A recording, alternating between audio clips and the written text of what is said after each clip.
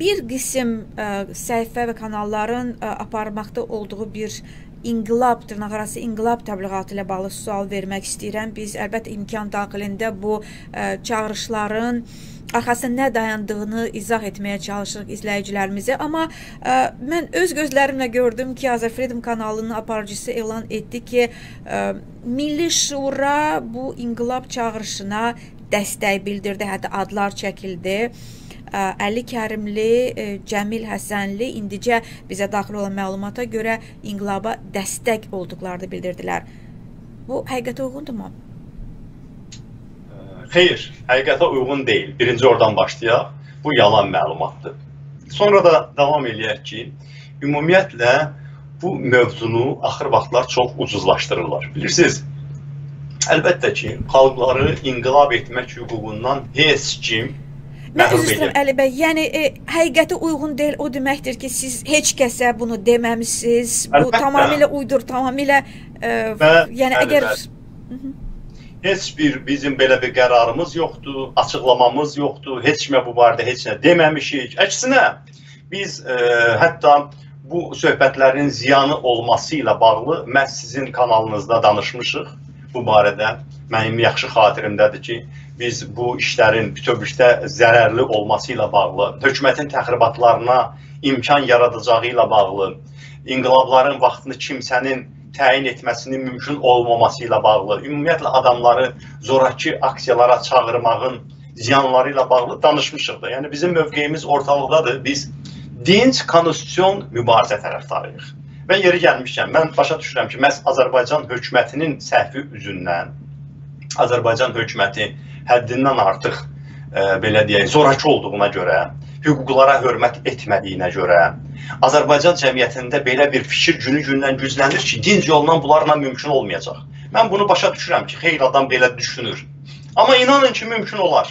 Əgər biz həmin o Ermənistanda, Gürcüstanda, Ukraynadakı kütləviliklərə nail olsaq, Venezueladakı kütləviliklərə nail olsaq, o zaman Azərbaycan hakimiyyətinin də bu güclə hesablaşmaqdan başqa çarəsi qalmayacaq və Azərbaycanda dinc, demokratik dəyişikliklər mümkün olacaq. Azərbaycan hakimiyyətini demokratik seçkilərə aparmaq mümkün ola bilər. Yaxud da vaxtından əvvəl istifaya getməkləri xalqın tələbi ilə mümkün ola bilər. Bunların hamısı mümkün olan məsələlərdir. Bilirsiniz, uzun zaman bir sıra pessimist adamlar, bəziləri məqsədli şəkildə, bəziləri də doğrudan da düzgün analiz edə bilmədiklərinə görə məhsul stadionunda mitinq olar deyə lağ eləyirdilər. Bəziləri e, belə danışırdılar. Hökumətdən icazə alıb hökuməti dəyişəcəksiniz. Kim buna inanar? Bilirsiniz, çox populyar idi bu şüarlar. Nə oldu sonra? 19 yanvarda cəmi 20-25 min insanın məhsul stadionuna toplaşması ölkədə vəziyyəti necə dəyişdi? İndi mən soruşuram. Bir anlıq təsəvvür eləyin ki, Növbəti dəfə biz elə həmin məhsul stadionunda mitinqə razılıq alırıq. O stadion dolur. Stadion indi 50 min adamı yerləşdirə bilməz.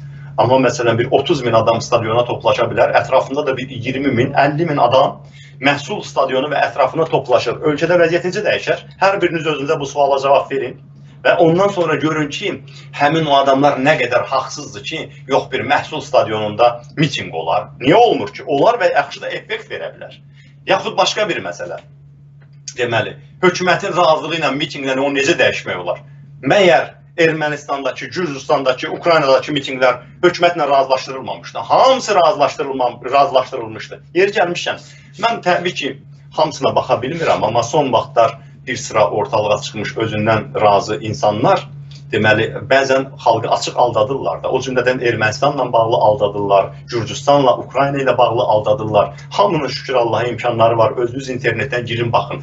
O mitinqlərin hamısı razılaşdırılmış mitinqlər olub. Razılaşıblar. O mitinqlərin e, demək olar ki, bir neçə epizodlarda orada zorakılıq olub. Məsələn, Ermənistandakı mitinqdə, Ermənistandakı mitinqdə bircə dəfə zorakılıq olub. Bircə dəfə yürüşlərin birində deməli e, baryer qruplar Paşinyanın e, demək rəhbərlik elədi yürüşün qarşısına. O bariyeri aşmaqdan ötürü tikantı müləffizlər çəkiblər. O bariyeri aşmaq istəyəndə deməli əli yaralanıb Paşinyanın o tikanlı məftilləri keçmək istəyən zaman, sonra da bir dəfə də onları deməli zor tətbiq edib dağıdıblar, həbs ediblər və bir neçə saatdan sonra millət yığılıb Respublika meydanından və məsələn tərəfimizdə onlarla razılaşdırılmamış mitinqlər keçirilib. Bəli, onun hamısında mən şəxsən iştirak eləməmişəm, amma elə şəxsən özüm 7-8 dəfə razılaşdırılmamış aksiyalarda iştirak etmişəm. Biz bunun nə olduğunu bilirik, bunun necə təşkil olunduğunu bilirik. Amma mənə çox qəribə gəlir. Azərbaycanda yaşadığı zaman heç 20-50 nəfərlik nə zamansa bir piket etməmiş. Yaxud belə aksiyalarda hətta sıravi kimi iştirak etməmiş, həmin o razılaşdırılmamış aksiyalarda iştirak belə eləməmiş, nəinki onu təşkil eləməmiş. Adamlar, adam buradan aralanır 5000 kilometr aralanandan sonra, ailəsini buradan çıxardandan sonra ya adamlara inqilab çağırış edir. Gərək mənəvi haqqın da olsun axı. Özünə rəva görmədiyini başqasına necə rəva görə bilərsən? Bəli, 2005-ci ilin noyabrın 26-sında biz oturaq aksiyaya cəhd etmişik. Nə idi oturaq aksiya? Hökumətlə razılaşmamaq idi. Biz dağılışıb getməli idik, amma dağılışıb getmədik. Və biz buna ad qoymadıq. Amma BBC, dünyaca məşhur BBC bizim həmin o aksiya haqqında sənədli film çəkdi. Bir saatlıq və adını qoydu İnqilabı necə planlaşdırmalı.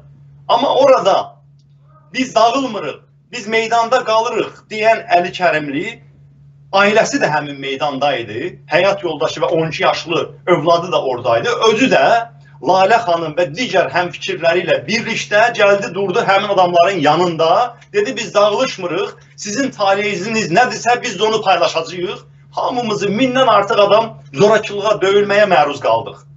Bunu hamı gördü.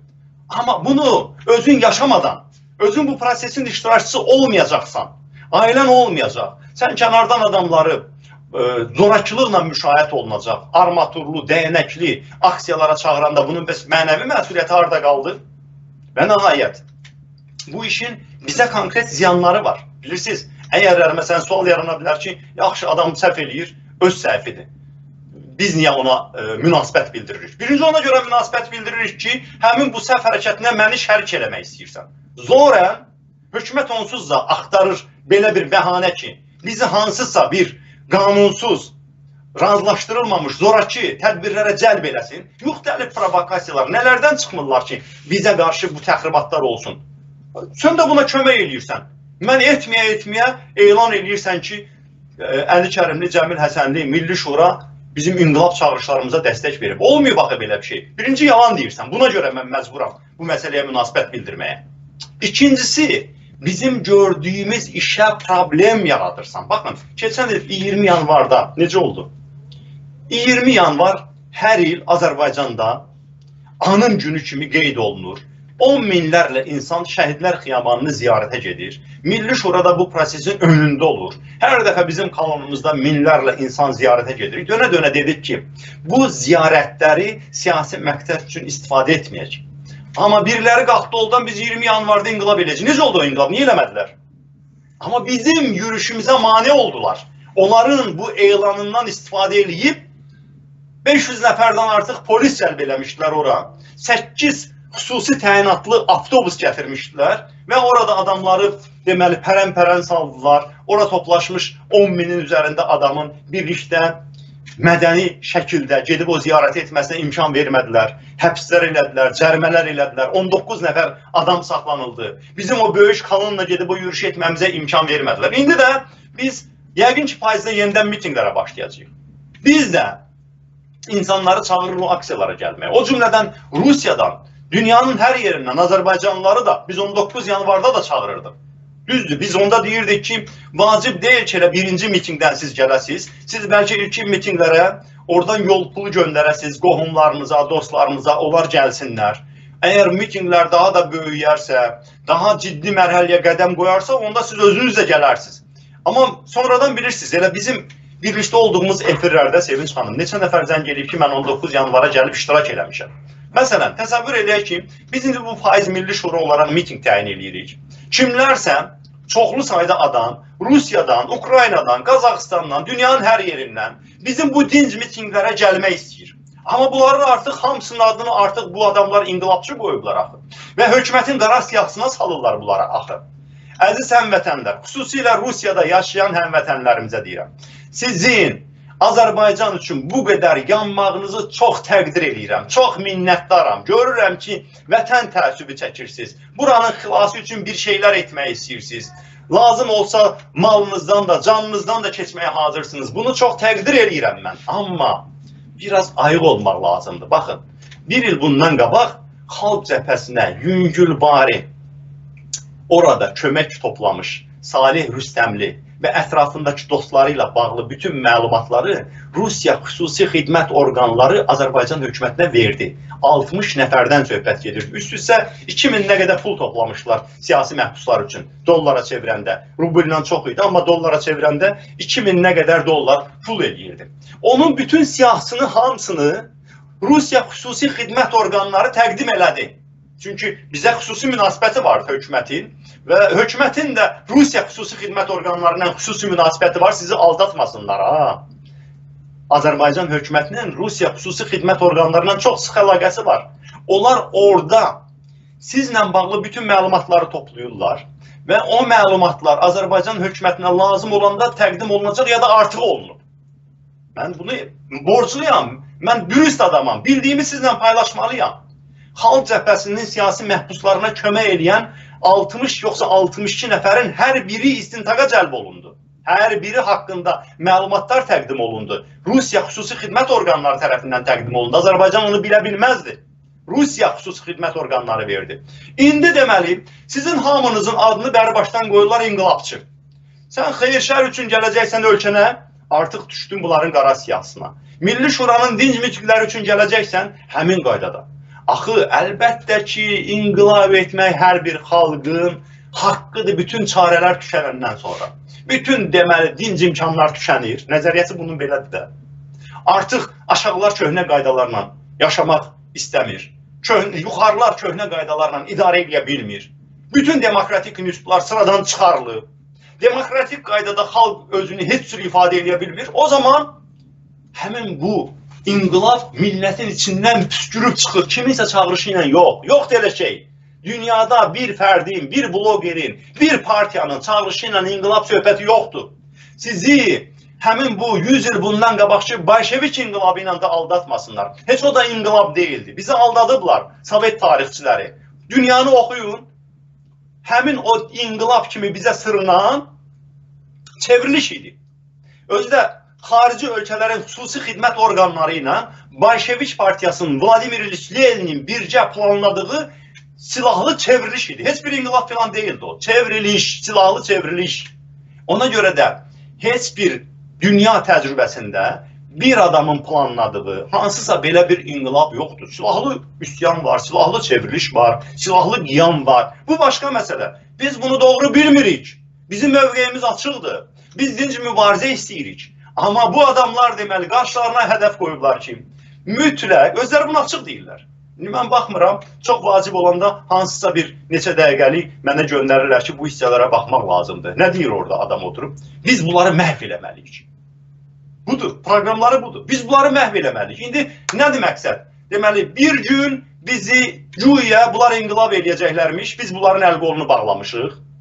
Mən sənin əl qolunu bağlaya bilirəmsə, səndən nə inqilabçı çıxa bilər axı? Fikirləş bir. Əgər mən imkan vermirəmsə sənin inqilab eləməyinə, deməli səndən heç bir inqilabçı çıxarmaz, sən bəhanə axtarırsan. Rəqs eləyə bilməyənə hər zaman nəsə məşhur, mane olur. Məşhur Rus misalında deyildiyi kimi.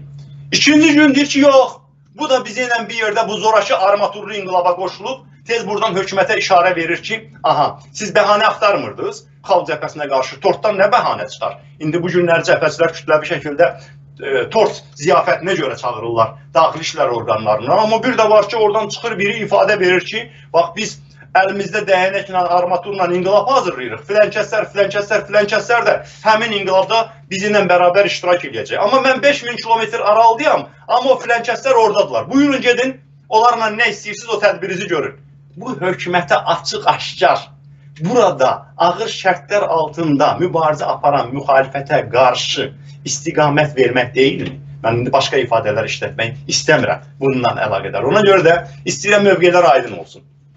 Bəli, bilirəm ki, hökumətin yaratmazlığından, hüquqa hörmət etməməsindən, qorxaqlığından, mitinglərin qarşısını almağından cəmiyyətdə böyük bir qəzəb yaranır. Və bu insanların bir hissəsi səmimidir, böyük bir hissəsi səmimidir və hesab edirlər ki, doğrudan da artıq inqilabi üsullara baş vurmaq lazımdır. Zorakıl üsullara hətta bəziləri düşünür ki, baş vurmaq lazımdır. Belə düşünən xeyli sayda insanlar var. Mən də həmin insanlara deyirəm ki, baxın, həmin o, sizdə bax belə bu enerji var ha. Bu enerjini siz bu dinc mitinqlərə yönəltsəz, biz bu dinc mitinqlərdə 50 min, 100 min olsaq, o zaman bizim nəticə əldə eləmək imkanımız daha çoxdur. Nəinki sizin 4-5 min nəfər fədakar insan toplaşıb burada daxili qoşunlarla, çeviş polis alayı ilə üz-üzə gəlməniz və ölkənin içərisində ciddi bir xaosa gəlib çıxmağına bəhanə verməniz. Hökumət bunu istəyir. Mən bunu açıq demək istəyirəm. Bu hökumətə sərf edir. Hökumət neçə müddətdir ki, əziz həmvətənlər, anlayanların hər biri üçün mən bu müraciət edirəm. Hökumət çoxdan istəyir ki, Bakıda keçən il Gəncədə olan hadisəyə bənzər bir hadisə baş versin. Hökumət ona niyə görə bu yay keçirmədilər parlament seçkilərini? Faktiki artıq deyə bilərik ki, yay keçirmədilər də. İndi artıq təyin olunsa da payıza qalır artıq parlament seçkiləri. Niyə keçirmədilər? Çünki güclü müxalifət var. Əzilməmiş bir müxalifət var. Xalqın protest elektoratı ayaqdadır. Hökumət bəhanə axtarır, provokasiya düşünür. Nazirliklərə təlimat verilib ki, onlar hansı daha kreativ senari uyduracaq ki, müxalifəti hansısa bir təxribata çəkib, əzib, ondan sonra bunlar möhkəmlənib həmin o repressiya fonunda seçkiləri keçirsinlər. Bir anlıq düşünün. Keçən il Gəncədə olanları yadınıza salın. Bəli, o zaman da Yunis Səfərov gülləni atanda Elmar Vəliyevə nə qədər insan qalxdı, bir çoxu məlumatsızlıqdan bir çoxu səmimi şəkildə hesab edirdi ki, aha, ancaq yol budur. Nə bilim, sosial şəbəkələrdə biri yazırdı ki, bir nəfər Yunis Səfərov Qazaxa tələb olunur. Biri deyirdi, bir nəfər Yunis Səfərov gəlsin təcili Lənkərana. Biri deyirdi, Sumqayıta çağırmaq lazımdır. Yadınızdadır.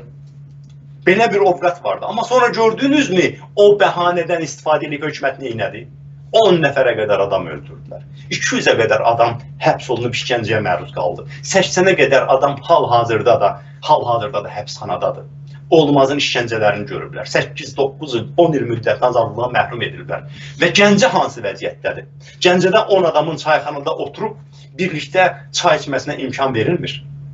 İndi Bakıda buna bənzər bir şey eləmək istəyirlər. Mən açığı istəmirəm ki, cəmiyyəti çox da qorxudum. Əslində biz indi hökumətin özümüz bunun e, bu arqumentdən istifadə edirik ki, bəli, demokratik imkanlar tükənəcəyi təqdirdə dinc mitinqlərin hamısı qapanacağı təqdirdə o zaman xalq özü püskürər vulkan kimi, Tunisdəki kimi, e, Misirdə olduğu kimi, başqa ölkələrdə olduğu kimi xalq püskürər. Bu yaxınlarda Sudanda olduğu kimi, Əlcəzairdə olduğu kimi hökumət bunu anlamalıdır və doğrudan da bu ola bilər. Və bunun qarşısını heç kim ala bilməz. Amma bunu hansısa Əli, Əhməd, Vəli eləyə bilməz. Bunu xalq eləyir. Biz ən azı, biz Azərbaycanlılar ən azı iki dəfə şahid olmuşuq ki, millət bir neçə saatın ərzində necə yüz minlərlə bir araya gəlir. Özdə heç kimin çağırışı olmadan. Birincisini hamı bilir. Birincisi olmuşdu 88-ci ilin 17 noyabrında. Biz tələbələr gəldik, 3-5 min adamla Azadlıq meydanına girdik. Açıq nə orada qalmaq planımız vardı, nə heç ağlımıza gəlmirdi ki, ora 10 minlərlə insan qoşulacaq. Günün axırına, daha doğrusu bir neçə saatın ərzində 100 minlər gəldi ora. Bu bir. Bu artıq bizim milli dirçəliş tariximizdir. İkincisini yadınıza salmaq istəyirəm. Bizim neft quyuları ilə bağlı Xəzərdə bir təxribat olmuşdu. İranın gəmiləri Azərbaycanın neft quyuları ilə bağlı bir təxribat eləmişdi. İl yadımdan çıxıb indi hal-hazırda. Türkiyənin hərbi hava qüvvələri F-16-ları Bakıda bir dəstək göstərisi düzənlədilər. Bakının üzərində gövdə göstərisi göstərdilər. Azərbaycana dayaq olacaqlarını istənilən situasiyada nümayiş etdirdilər. Heç kim çağırmadı. Yarım saata azadlıq meydanı doldu. Əziz həmvətənlər, yarım saata millət istəyəndə sosial şəbəkə filan da yox idi indiki kimi. Amma yarım saata həmin o vətənpərvərlik eşqi ilə çırpınan ürəklər bir-birindən xəbərsiz, hamı bir-birindən xəbərsiz azadlıq meydanına gəldi. Heç bir çağırışsız, icazəsiz və o meydan yarım saatın ərzində doldu. Millət istəyəndə onun qabağını kimsə durdura bilməz. Amma ayrı-ayrı adamlar özlərinin hansısa məqsədləri üçün bu işləri gözdən salıb, onu qeyri-ciddi müstəviyə çəkəndə, əlbəttə ki, bir tərəfdən millət aldadılmış olur. O biri tərəfdən hökumət bəhanə qazanmış olur. Özünün repressiv hərəkətlərini haqq qazandırsın. Onsuz da yerdən göydən bəhanə axtarırlar. Ona görə də əziz həmvətənlər, birincisi dinc mübarizəyə inanın. Biz hələ heç zaman meydan Əziz həmvətənlər, biz nə zaman dinc mübarizədən səmərəli sona qədər istifadə etdik ki, nəticə olmadı. Biz nə zaman meydanlarda 50 min, 100 min, 200 min insan olduq da bizim istədiklərimiz reallaşmadı. Ona görə də o hal-hazırda insanlardakı etiraz enerjisini, protest enerjisini imkan vermək lazım deyil ki, hökumətin istədiyi kimi zor müstəvisinə bizə çəkib orada bizi həmin o daha qabaqcıl, daha cəsur qardaşlarımızı, bacılarımızı əzməklə cəmiyyəti bir müddətdə sakitləşdirsinlər. O enerjini təşkilatlanmağa və dinc mübarizəyə səfərbər etmək lazımdır. Yəni biz bütün ölkə boyu təşkilatlanmışıq, amma həmin o dinc mübarizə ilə qalib gəlməyə gücümüz çatmır. İndi bir anlıq düşünün ki, bizim gücümüz qədər də bir bir yerdən başqa bir güc gəlib bizə qoşulsa, bu dinc mübarizədə biz ölkədə vəziyyəti necə dəyişərik? Bax bizim o axtardığımız güc xalqın içindədir.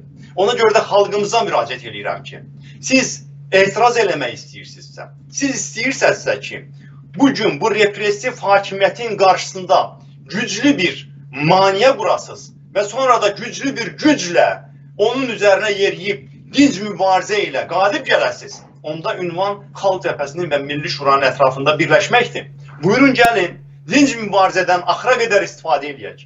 50 min, 100 min insanın meydanlara toplaşmasına çalışaq, nail olaq. Bəli, bugün qoymurlar. Amma sabah, bir ay, iki ay sonra məcbur olacaqlar bunu eləməyə. Dünyada mitinglərin qarşısını alan ölkələrin sayı barmaqla sayılır və onlara qarşı beynəlxalq sanksiyalar işə düşür. Bugün Moskvada böyük mitinglər keçirilir. Kim onun qarşısını ala bilir? İndi İlham Əliyev Putinlə daha mı başarılı olacaq? Olmayacaq. Belarus artıq mani olmur mitinglərə. Artıq xəbəriniz olsun ki, Avropa Birliyi Orta Asiya ölkələri ilə ciddi strateji sazişlər imzalayır. Qazaxıstanın ardınca Qırğızstanla strateji saziş imzalandı. Özbəkistanla artıq Avropa Birliyinin ciddi sazişin üzərində iş gedir. Azərbaycan hakimiyyətini ada kimi, diktatura adası kimi, repressiya adası kimi qoruyub saxlamaq mümkün olmayacaq. Dəyişikliklər bütün coğrafiyanı əhatə edir. Amma bizə nə lazımdır? Təşkilatlanmaq, dinc mübarizəyə inanmaq, dinc mübarizə ilə bütün uğurlu inqilabi dəyişikliklər edilib. Ancaq həmin zoraki təxribatlar hər zaman repressiv hökumətlərin əlinə bəhanə verib ki, xalqa qarşı repressiyadan istifadə eləsinlər.